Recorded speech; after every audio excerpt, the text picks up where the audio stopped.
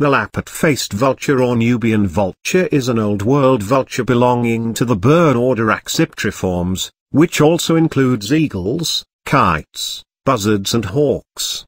It is the only member of the genus Torgos. It is not closely related to the superficially similar New World vultures, and does not share the good sense of smell of some members of that group. The lappet-faced vulture was formerly considered monotypical, but now is separated into two subspecies. The nominate race lives throughout Africa. The subspecies T. T.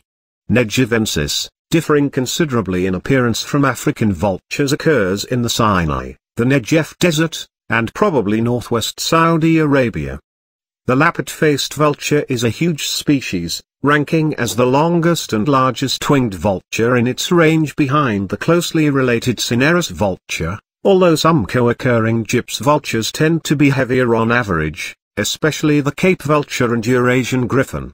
This species measures around 95 to 115 centimeters, 37 to 45 in, in body length, with a wingspan of 2.5 to 2.9 meters, 8.2 to 9.5 feet.